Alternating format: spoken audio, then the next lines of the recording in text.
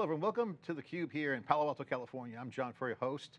Welcome to theCUBE plus NYSE, the AI infrastructure and hardware leaders in Silicon Valley program. This is where I'll get together and talk to the best experts, uh, newsmakers, technologists here in Silicon Valley, and then we're going to connect it to other parts of the world. Right here joining me is Vijay Nagarajan, who's the Vice President of the Wireless Connectivity at Broadcom.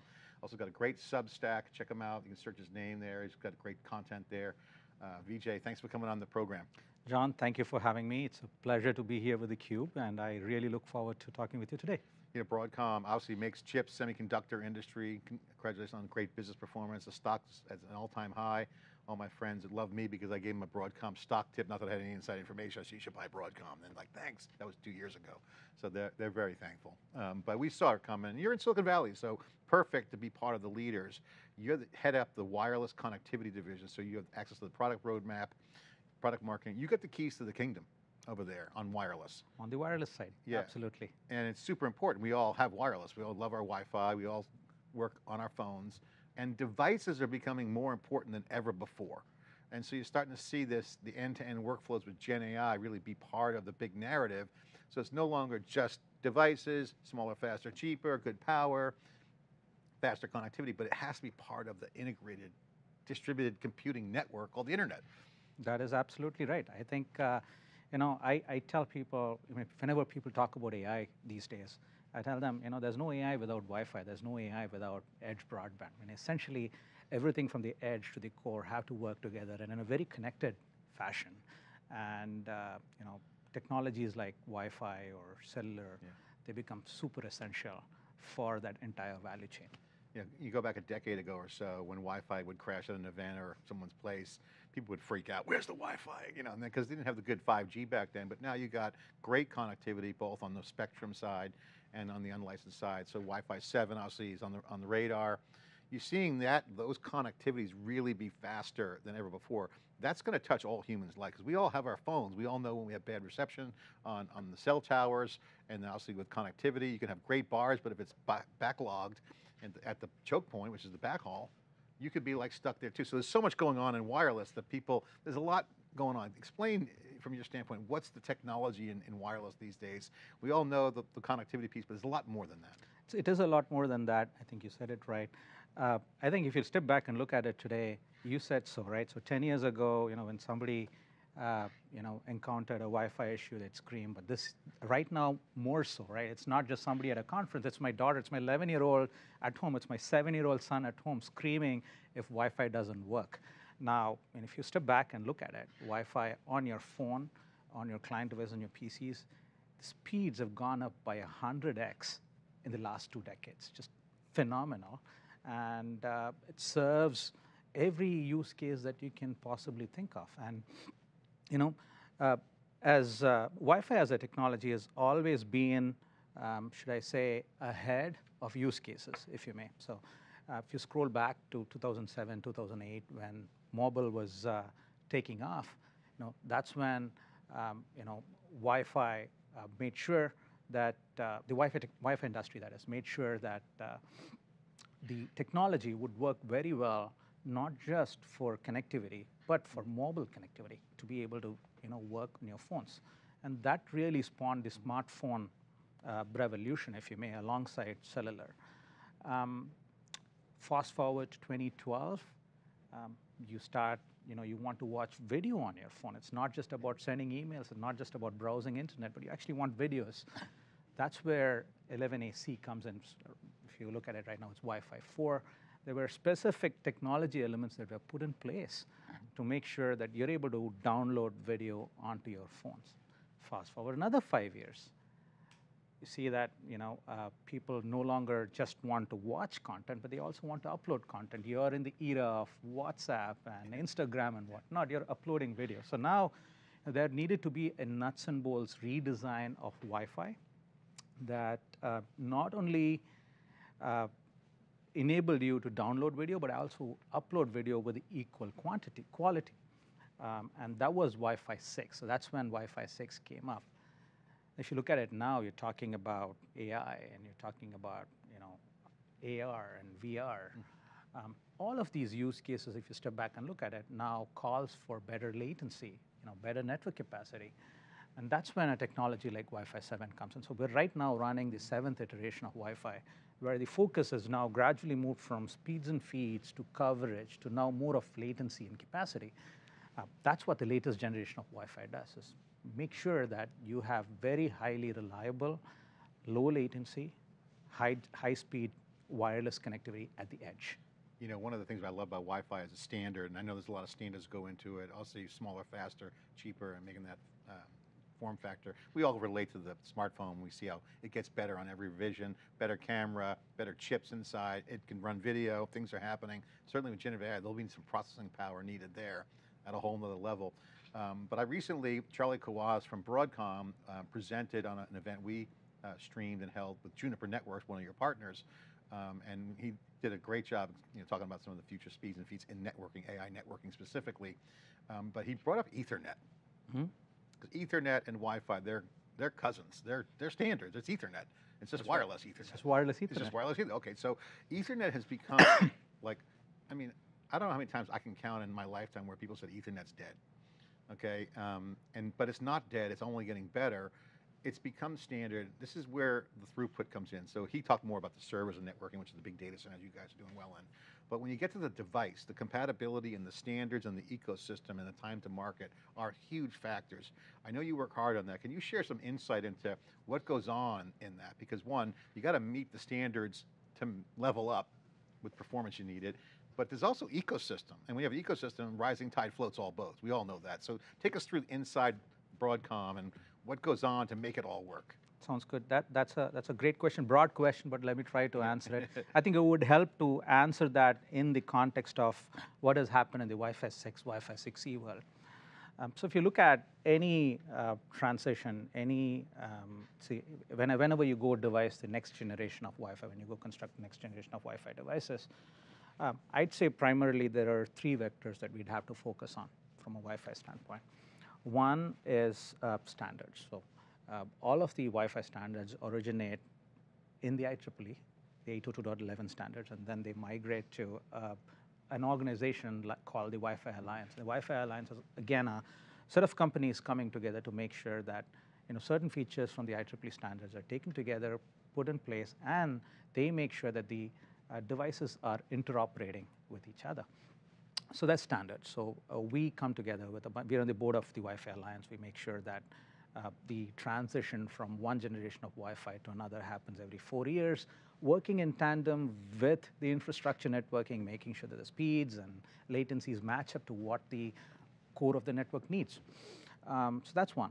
Secondly, um, because Wi-Fi is wireless and it's very closely tied with spectrum, we also have to do, as an industry, substantial work in making sure that you know, spectrum is available for unlicensed access. So we work in tandem with you know, other companies to go to the uh, regulatory bodies worldwide to make sure that they open up new spectrum. Case in point being, uh, you know, uh, for about two decades, a better part of two to three decades, there was only two frequency bands, 2.4 gig and 5 gig bands, like a small swath of spectrum available for Wi-Fi the industry saw the need for newer uh, spectrum, uh, more spectrum needed in order to make sure that there are better speeds and feeds and better latencies. Uh, there was an opportunity to go work at in the six gigahertz band. So we, along with um, a set of like-minded industry leaders, have been at it from 2016, working with different regulatory bodies to say, hey, here's what you can do with the six gigahertz band. If you open it up to Wi-Fi, here's the economic benefit of Wi-Fi. And so, uh, you know, in four years from 2016 to 2020, we've been traveling worldwide to go make this happen.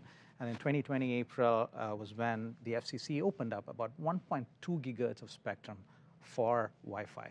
And then since then, about 70% of the world's GDP has opened up the 6 gigahertz band for new Wi-Fi. So that's regulatory. The second, the third thing with all of this is product development. So it doesn't matter that there's new spectrum. It doesn't matter that that's new standard unless you have a new product. So what we end up doing is, um, you know, ever since we started these discussions on the regulatory front from 2016, we've also been working on the products from 2016. So Wi-Fi 6, Wi-Fi 6E products have been in place within Broadcom for those four years. So when FCC announced the availability of the 6 gigahertz band in 2020, April, we had our chips ready. We had our products ready to go to go you know, fit into our customer devices and run with it. So these are the three, you know, vectors that we have to go look at for Wi-Fi. And what this results in i- i- are a set of devices that are extremely good in their uh, features, not just their features, but also their KPIs, whether it is size, power, um, and performance. And this really helps because for us, when the when uh, when the technology wins, our products also win because we we've been working the products in tandem with the regulatory and the standards bodies. And talk about talk about how um, scope the complexity of that because it's not trivial to stay in t- in mar- in line with the market on the regulatory side. It's like a moving train. Sometimes you got to be honest. So doing that development in parallel or just near real time with the standards is tricky. Talk about how un- unpack that a little bit because it's not Sure. clear. Just the obvious that, that No, that that no, you, you bring up a good point. I think. See, there are two aspects to it. Again, one, you have to pack a lot more features um, into a chip. Uh, case in point being, as we've moved from Wi-Fi 5 to 6 to 6E, the bandwidth in itself increases from you know 80 megahertz to 160 megahertz to 320 megahertz. So the radio design changes. Um, so for us, you know, we have to incorporate the fact that there are a lot more features packed in. So we make a process node decision upfront. So we have to go extrapolate what is needed on the feature side and say, okay, you know, in order for us to make Wi-Fi 6 or Wi-Fi 6E work, we have to go with a certain process node so that we make that decision. To top it all, the because wireless involves a substantial portion of analog, um, the fact is, even if we go with a new process node, the compression doesn't happen automatically. The, sh- the shrink doesn't happen automatically. So we invest very, very heavily in changing or advancing our radio architectures going from one generation to another. The shrink that we offered on the radio has to work in tandem with whatever we can get on the digital side going from one process node to another. So essentially what happens is we pack in all that complexity and still, you know, we're bound on the phone side, for example, by the size constraint. Hey, you know, this is a small device with a certain battery consumption. So you put all of these things together, and yet I only want a chip that's less than 20 square millimeter, for example. exactly. So packing it all requires that we work, you know, those four years are actually spent in shrinking this chip and making sure that we, it hits all the performance metrics. Yeah, it's complicated. Everyone wants this faster, and we all experience in our lives, you know, either at a big venue where you get bars, or like some vendors don't work better than others.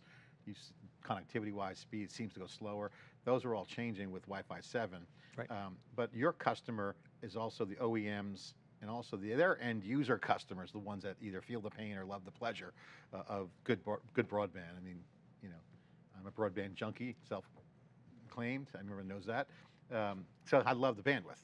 I want more faster. I want faster bandwidth, lower power. Right. Um, talk about the roadmap because this comes back down to like the innovation side of it.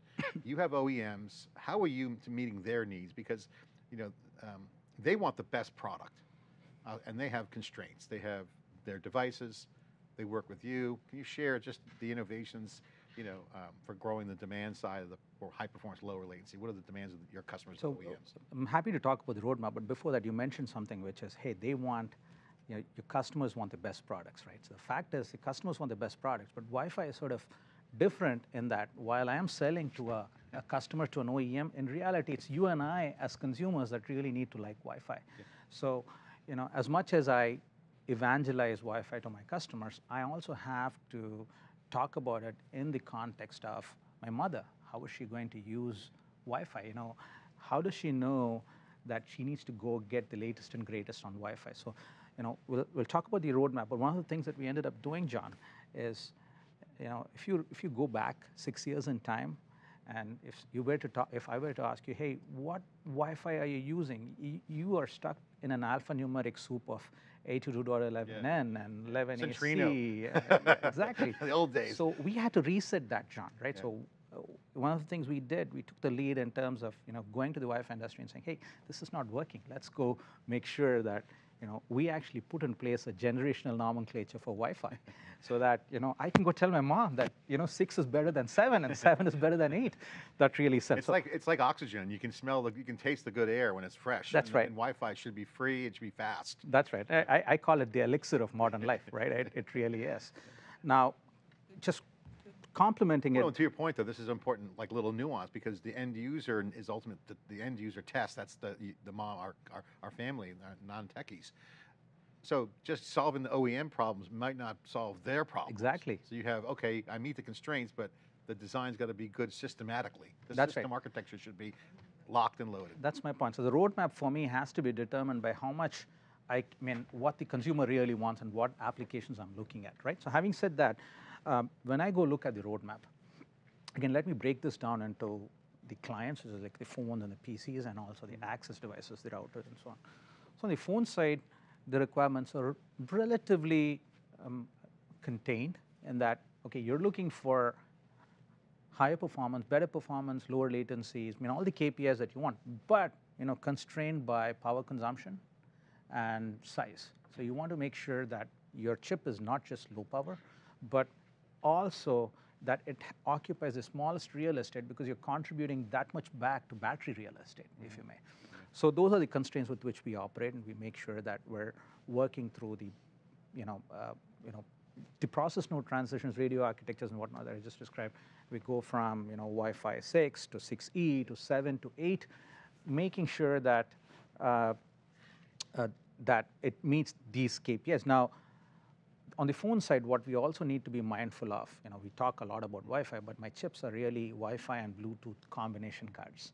So the same chip, not just has Wi-Fi, it also has Bluetooth, and those two technologies coexist in the 2.4 gig band and increasingly in the 5 gig band as well. So I need to make sure that those two devices uh, have uh, seamless coexistence as well. I, you have to be able to browse your internet while you're listening to music or taking a phone call on your headset. So all of those things have to be baked in when I go look at the roadmap. Um, so, uh, so that's so latest and greatest technology in Wi-Fi, latest and greatest technology in road uh, in Bluetooth. They all come together in terms of complex radios. Just just to give you context, my first Wi-Fi Bluetooth combo chip had maybe two radios, one for Wi-Fi, one for Bluetooth. My current chips actually have anywhere from seven to ten radios on the phone because there's that many chains of Wi-Fi, that many chains of Bluetooth. I mean, that's hard for people that don't know wireless. Having the radios on the chips are really difficult to do because most people don't realize they have their phone. Um, the big antennas that they see can have to shoot the signal over the air through the air interface they call it, and the phone has to talk back. That's it's got to drive the battery has to drive the packets back That's to right. the antenna. That's right. So you can have a powerful antenna blowing signal everywhere, but you got to actually And get back and do a handshake. And, and by the way, you need to do all of that within the regulatory constraints that Yeah. are posed by the FCC and other bodies. So all They of that has down a lot of guys overdriving the power because that was one strategy, trying to get You power out. that. But one, but you still get the device has to talk back, or the That's right. repeater, or whatever you want to do, the, That's the right. CPE, or whatever. Um, okay, let's talk about the the, the, the the chips and the design. So you more in the smaller packages. Everybody wants to be a chip company. Mhm. Um, custom silicon is a big part of your success at Broadcom generally as a company. So um, I'm imagining that with Edge and the OEMs and the broader Broadcom strategy um, with custom silicon, that you guys are probably working on deals with people to have um, purpose built because you're starting to see with generative AI or devices or IoT, for instance, there's roles and use cases that may not need stuff or need more of this or that. So like, it's- it's a diverse set. It's not a general purpose. Here's the chip. Go do something. Um, what's what's the role of the wireless in context, say the broader strategy of uh, Broadcom, and the fact that you know IoT, you're going to have cameras on poles. You're going to have this, you know, powering windmills. right. You know, So there are a couple of vectors that I want to touch on. One is that as far as wireless connectivity is concerned, one size does not fit all, right? So the, the configuration of Wi-Fi being used for your phone, high-end phone is different from the configuration used for the mid-end phone. It's different from what is being used on the IoT devices. Is it one stream of Wi-Fi? Is it two streams of Wi-Fi? Um, and on the flip side, when you take the access points, it's as complicated. Do you are you going to use two streams, three streams, four streams? So you're going to operate in single band. You're going to operate in 2.4 and 5. Are you going to operate in, you know, three bands, four bands? There are all these questions that have to be answered, um, uh, which lead to complexity in the decision-making process.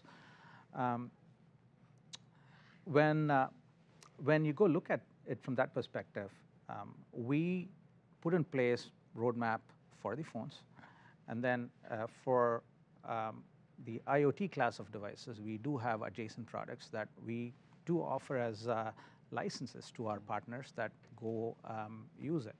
On the flip side, um, the custom uh, development comes more from the perspective of uh, software and firmware customization, making sure that it works for specific operating systems on the phone side or the PC side, um, and also on the access side being fine-tuned for specific OEMs. So the customization has to do more with firmware and software, uh, less so with hardware, simply because it is um, it's standards based, if you may.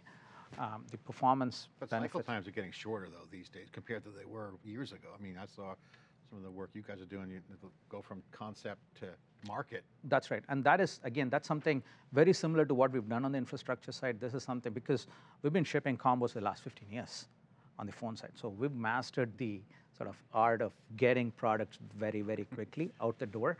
Uh, and also the Wi-Fi standard itself, you know, from a cycle time perspective, is compressed where uh, one generation of the, the time between one generation of Wi-Fi and the second is about four years now. It used to be six, seven, and that's compressed. So that's leading us to do faster uh, timelines as well. You're the VP of Broadcom's wireless connectivity division. I didn't say Wi-Fi division. That's right. So I have to ask you, 5G is proliferating.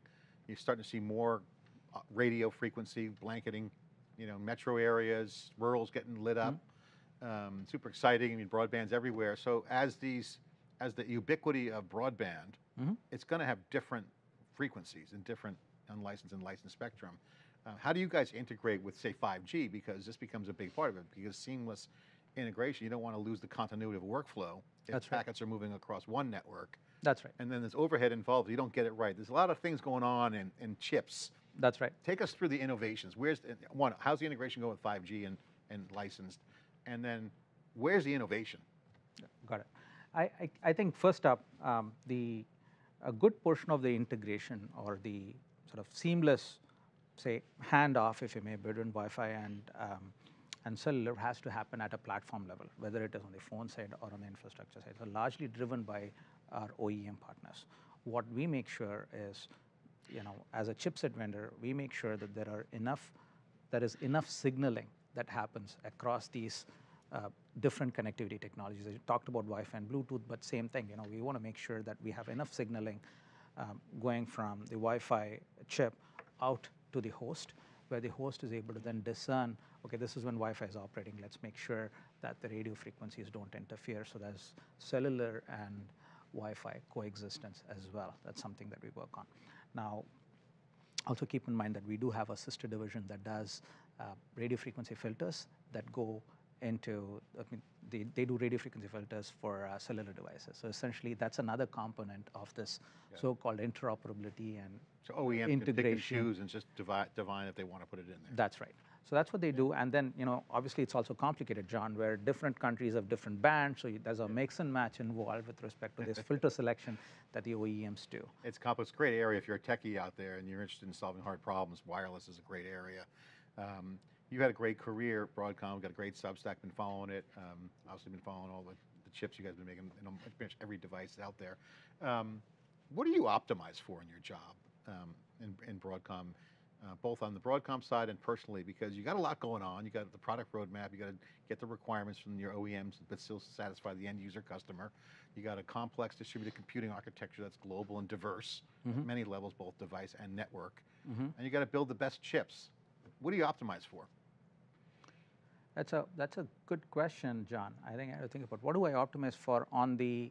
Um, let's let's just say if I had to pick one word, I think it's satisfaction, and I think on the professional side it is satisfaction of the customer, right? So customer first. What what what does the customer want, right? Best. And uh, the best, Fastest, and that's what latency.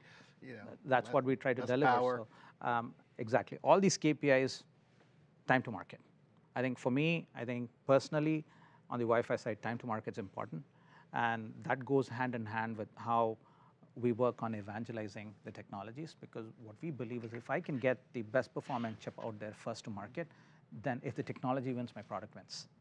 So uh, essentially making sure that the customer is satisfied with the best. So that's, you know, professionally, roadmap wise, it's the customer satisfaction, number one. Uh, personally, too, it's the same thing, John. I think it's satisfaction, it's contentment. What makes me happy? That's that's what I go for. Yeah, that's awesome. And the tech's fun to play with too. You got a lot going on, and it's important because it impacts people's lives. I think I love the, the, the, the famous meme going around where you had the Maslow's hierarchy of needs, and at the bottom before food and shelter was Wi-Fi, Wi-Fi. and connectivity. Um, and that brings me, you know, the, to the enterprise side. Love, love the data center stuff you guys are doing in the cloud stuff that Broadcom's doing at the you know, large scale, uh, Gen AI. Ethernet is a big conversation, and I want to get your thoughts on this from a personal standpoint because in my 30 plus years in the industry, uh, I grew up on Ethernet, and I actually worked for IBM when Token Ring was around at two megabits. But, the thing is, is that Ethernet's been around, but it's gotten better, and and and and it's open. What's the importance, in your opinion, of open standards and ecosystem? And uh, to the naysayers that say, "Hey, Ethernet, just doesn't cut it for this next gen," whether it's on-premise wired Ethernet and networking like Juniper switches and stuff, and Mist, which is cool AI, to Wi-Fi and wireless. No, um, and open is it. I mean, you, mean, Charlie said it best, right? And we've talked about this. It's open, scalable, and power efficient, and and that that sort of mantra runs right from the edge all the way to the core. I mean, essentially, if it's if technology is not open, if the technology is not standards driven, it doesn't spawn a vibrant ecosystem that gives choice and satisfaction to the customers. And I think that's where, I mean, that's where you know our our head is at with respect to Ethernet as, Ethernet as well. I mean, talk about UEC, just making sure that you know um, Ethernet meets the needs of what the AI data center requires, and also making sure that that vibrant ecosystem exists on top of it is a very critical element. It's the same thing that also you know pervades our Wi-Fi roadmap as well. I think if I if this is not standards driven, it's not going to be interoperable. And if it's not interoperable, then you don't have a technology that is widely adopted, that is so dearly sought Yeah. After by everybody. And if done right, it's a disruptive enabler because innovation always disrupts, but also adds value. Adds with- value. on top of it. Okay, personal question: um, What's the coolest thing you you're working on right now um, that you'd say is cool, like from a tech perspective, or um, product perspective, or technology innovation perspective? What's the coolest thing you're working on? I'd have to say Wi-Fi 7. It can't be any other answer, right? uh, but I mean, uh, jokes apart, I think Yeah, what about it that makes it cool? I mean, give us give us the cool cool ability it's, factor. it's the it's the fact that you know this technology is geared to address everything that or everything that is sought after from an AI perspective or from a future use case perspective, whether it's AR, VR, whatever. Um, it's it's a redesign of Wi-Fi that focuses on latency that makes latency a very critical KPI. That's not been the focus so far with Wi-Fi. Um, uh, you know, there's a there's a techno- there's a particular feature called uh, multi-link optimization (MLO), uh, which makes sure that you are you have multiple lanes available across frequency bands. Think of it like carrier aggregation for cellular. Uh, being able to aggregate traffic across different bands to make sure that you get very reliable, very low latency traffic, which to me is incredible. I mean, every time I work on Wi-Fi, John, I feel like the industry and the companies are thinking ahead of use cases the market would want, and that's what we need to be because if because the use cases originate at the edge, the use cases originate with the consumer. If the edge technologies are not capable of it, then I think everything falls apart. So that excites me. It's innovative. It's always had really strong. Every year, something new's happening. Remember the old days, you had to configure channels, you know, on the on the devices, and then Right. got now smarter, and now you got a lot of Wi-Fi pockets. But Wi-Fi is still limited by distance. Mhm. Okay, but that's where the spectrum comes in for backhaul and other kind of things, right? So that's we feel good about that. Things are going well there in the market. You feel good that we're in a good position. Yeah, I mean, again, I, Wi-Fi is sort of a last mile technology, right? So you, you know, the, the fact that you have good broadband backhaul coming in uh, to the home, to your enterprises, that can be complemented by Wi-Fi. That's that's phenomenal. Um, if you look at the fact that this new six gigahertz spectrum has actually given us um, substantial bandwidth that will allow us to have wider band Wi-Fi, which means greater speeds. From an enterprise perspective, uh, John, if I step back, it's not just about higher bandwidth, but it's also about having more number of larger bandwidth channels. Um, so if you looked at 2.4 or 5 gig, if you look at a 5 gig deployment in the enterprises, typically people use 20 megahertz and 40 megahertz bands, very small bandwidth. which means you need more access points, lesser devices per access point. But 6 gigahertz coming in, you have 80 megahertz channels. You have, you know, you can have, you know, 10 of those, for You example. plenty of throughput. And so you get plenty of bandwidth throughput, and plenty of capacity. All right, now let's get into the security side of it because that that's also concern for Mm-hmm. enterprises specifically and out in the open. I mean, I was at the Black Hat event. All I kept thinking about was, oh, how about getting hacked? But there's security in Wi-Fi. Give us the update on the security component. I mean, the security from a from a Wi-Fi perspective, it's fairly uh, standardized in that you know the Wi-Fi Alliance makes sure that um, the uh, the protocols being put in place with respect to say WPA3, for example, um, is there, and uh, uh, since it's standards driven and it's interoperable, I think. Uh, uh,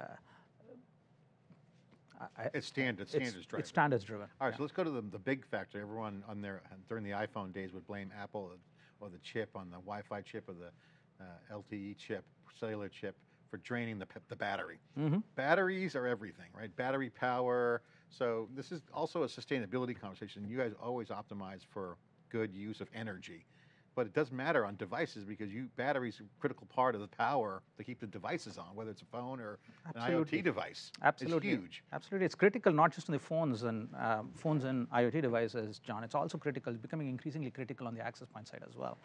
Uh, if you take the phones, as I said, I think we're, we're optimizing consistently on reducing the power, but also the footprint so that there's more battery life put in. Um, the, that, that has been one of our unique selling propositions, if you may, is just making sure that, that any, any, any communication that happens is low power. Um, we talk in terms of energy per bit. We want to make sure that we're conveying that bit over to you with as less power as possible. That brings in the sustenance component. Now, if you look at the architecture, it's not just about you know how how much energy it takes to transmit the bit. It's also about how much energy the chip takes when it's actually asleep, when it's not doing anything. So we want to make sure that every operational mode of this Wi-Fi chip is absolutely optimized as we go from one generation to another, one process node to another. And as, as you said, it's just complex, and we had to work on each of these nits to make sure that we're providing that sustainable chip that is extremely good on the battery life. Well, Broadcom put all the pieces together. I know there's some HP legacy. I learned that at the investor. I worked at HP for nine years back when it was the HP way, and and uh, a lot of techies working on hard problems at Broadcom. Um, final question, last 30 seconds we have. Uh, what's what are you working on now? What's next for you? What's on the radar? What are you trying to get out the door? Uh, the, the next, of course, is Wi-Fi 8. I mean, like I tell my mom, it's six is gone, seven's here, eight's next. So I'm working on it. So of course we're working on Wi-Fi 7 and we're working on 8. But I mean, I, I also work on you know the latest and greatest on Bluetooth, latest and greatest on GPS, GNSS. That's all part of my portfolio. Uh, Bluetooth, this exciting things happening with Bluetooth, but you know uh, things like channel sounding, where you're making sure that you know Bluetooth helps with your keyless entry type use cases. Those are all exciting. And then you couple it with some of the overall um, AI use case driven uh, technologies that we're putting in place as Broadcom as a company, right from the edge to the core. It's just exciting times, John. Exciting. It is. Uh, your mom would be proud of your career, what you're doing, helping helping get broadband out for the masses. No, thank you for sure, for sure. She's mission. proud. Yeah, she is super proud, and so is my entire family, my wife, children. Give a shout out. It's great. Family, they're all watching. Yeah, I mean, thank you all. I think uh, you know they've been they've been super essential, John, for my career. It's my my parents, my wife, my children that bring joy every day. I mean, without them, I wouldn't be doing Wi-Fi. Vijay, you're a great, great guest and AI leader in Silicon Valley and love what you do. And again, I love the mission, bringing broadband to the masses, making it faster, smaller, more, more power uh, uh, sensitive to, to our needs and end user. We all love our Wi-Fi and and wireless. Thank you, John. Appreciate Thank you. it. Thank you for having me today, and that was a good conversation. Thank you. Great. This is part of the Cube's Palo Alto Studios, Silicon Valley AI infrastructure leaders, part of the, the Cube and NYSE Wired Community Events. I'm John Furrier, your host. Thanks for watching.